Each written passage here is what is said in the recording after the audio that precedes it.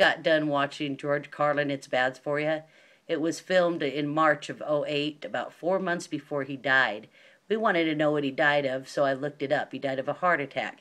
But this conspiracist video uh, website here, Splinter in the Mind, article is George Carlin dead because he spoke of a new world order?